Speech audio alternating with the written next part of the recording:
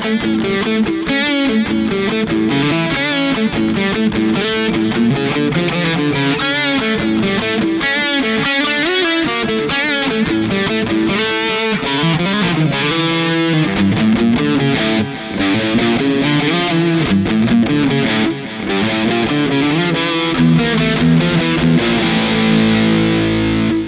tất cả các bạn, hôm nay mình xin giới thiệu với bạn một cái cây đàn rất là tuyệt vời làm theo cái signature của một cái danh thủ là John Petrucci. Đây cây đàn Sterling của Music Man. Đây đây là một cái cây đàn à, các bạn thấy cái kiểu dáng nó rất là đặc biệt bởi vì đây là một trong những cái kiểu dáng các bạn nhìn vào nó khác biệt rõ ràng so với các cái cây đàn khác ha. Từ cái phần mà bo lên như thế này các nấm vặn đây.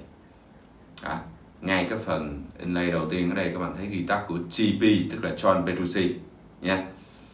Thì cái cây này hiện tại giá của nó ngoài thị trường là 24 triệu 900 ngàn. Mà shop mình có một cây duy nhất này khuyến mãi dịp Noel cuối năm thì chỉ còn là dưới 20 triệu. À dưới 20 triệu tức là các bạn tiết kiệm khoảng 5 triệu đồng nha các bạn. À, để có sở hữu một cái cây đèn rất là tuyệt vời này nha rất là đẹp luôn nha các bạn rất là đẹp luôn. Đó thì cái body của nó gọi là body basswood ha. Cần mahogany.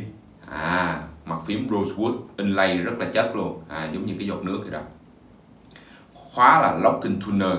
À, hai cái hung cơ. Cần nhúng hay là cần nhúng một chiều lõi các bạn? Tức là nhúng xuống như thế này các bạn nhúng ngược lên nó tăng thêm khoảng một cung nữa được à nhúng cũng rất là hay ha. Ở đây các bạn chỉ cần rút ra thôi. Các bạn ấn là nó vào thôi.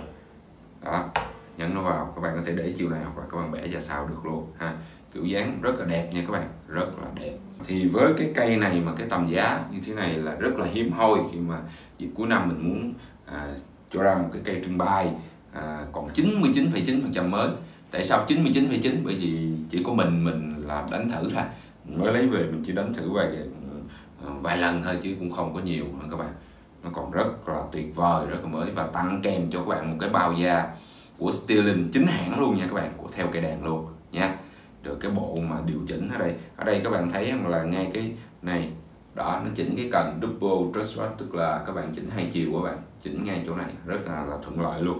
À, không cần làm phía trên này luôn. Đó thì bây giờ chúng ta sẽ nghe thử qua âm thanh của nó một số cái tiếng là là từ tiếng um, bình thường clean tự nhiên ha. Rồi sau đó chúng ta đánh cái tiếng override distortion solo để các bạn nghe cảm nhận như thế cho nó như thế nào. Hãy liên hệ ngay với Amigo Guitar Shop để sở hữu cây đàn duy nhất với giá tốt nhất mà các bạn tại thị trường Việt Nam các bạn sẽ không kiếm ra được một cái cây mà có cái mức giá tốt như vậy đâu. Đầu tư một lần và các bạn sẽ xài chọn đời rất là đẹp và âm thanh cũng rất là hay. Các bạn xem cái phần demo sau của mình nhé.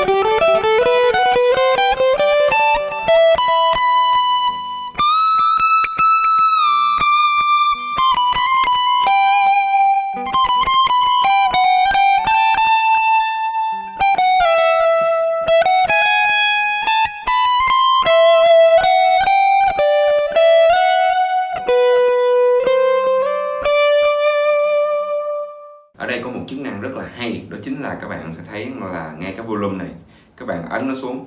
À, nó bung lên như vậy nó chỉ, tức là nó active nó bật cái chế độ push lên nó làm cho cái tiếng của các bạn nó mạnh mẽ lên. Thì mình sẽ thử à, cái tiếng clean để bạn nghe sự khác biệt. Đầu tiên mình sẽ để nó chế độ bình thường nha mình đánh bình thường cho bạn nghe. À, các bạn thấy khác biệt nghe nha. À, bây giờ mình bật cái lên nè. Các bạn nghe nó lớn hơn và nó dày hơn đúng không? Mình tắt nè. Bật lên à các bạn thấy chưa? Đây là cái độ linh hoạt nó sẽ cao hơn khi các bạn cần su đang điểm các bạn muốn solo lớn lên ha, không còn một luôn các bạn bật cái này lên. Đó là một tính năng cũng rất là hay ha. Hãy liên hệ ngay Amigo Guitar Shop để sở hữu cái đàn tuyệt vời này.